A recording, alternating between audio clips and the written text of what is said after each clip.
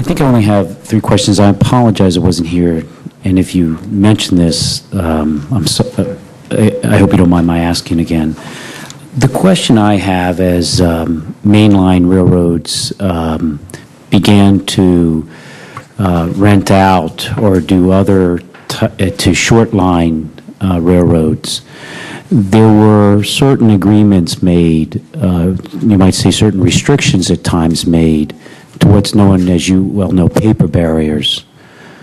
What is your take, if I might ask, um, you two gentlemen, about this impact for uh, on rail-to-rail competition in the sense that, I mean, should there be some movement towards disallowing these to help this ability to bring down price?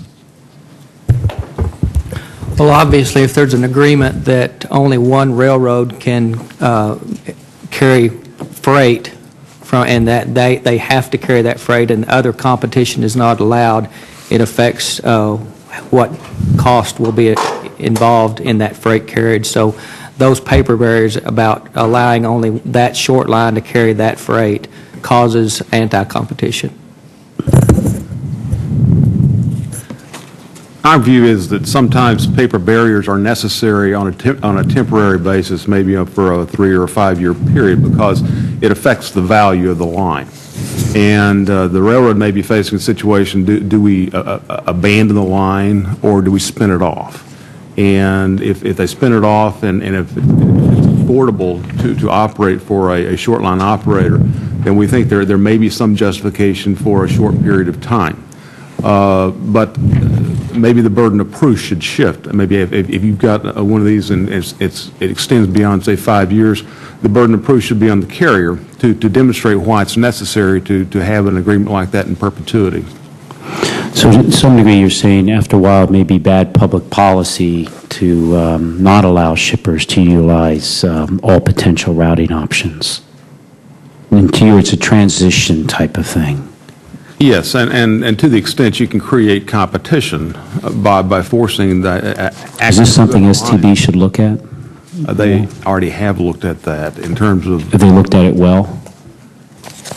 Well, my conclusion is that what, the way the STB decided on this was that that they decided not to establish any firmer rules Got or it. guidelines than, than what exists So today. this might be, got it. It's Let me ask a complicated. second question along the same line, if you don't mind. Um, Bottlenecks, through rates, has that also had a similar impact upon the cost?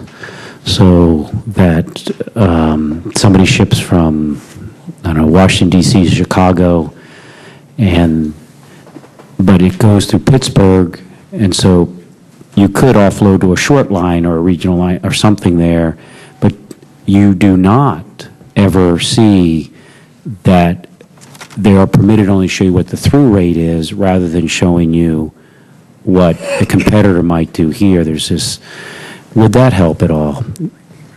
You know what I'm talking about. There's no question that competition affects rates. I mean, there's, So, but is this a problem, uh, this bottleneck through rate issue on the cost again? it's something more- we should be Probably looking more of at. a problem in the energy in- industry than it is in agriculture per se.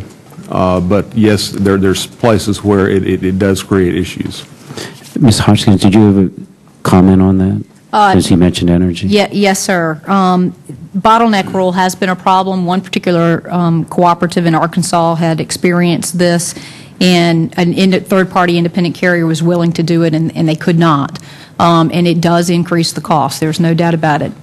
Is, are they precluded from it, or they're self-precluded from it because they know somebody else will hit them? I mean, they could be two main lines doing this, but one main line from Pittsburgh, he may have a, well, some from Pittsburgh to Chicago, but he knows that if he offers a separate rate, he's going to be jammed on the other side. Is that wrong? No, I mean, I think there are times when um, there may be a, a situation that, that does exist and needs to be addressed. But I think there have been abuses using this Is this concept. something STB should look at? Absolutely. Do they do it well now? The rulings so far have not been in favor of the shippers.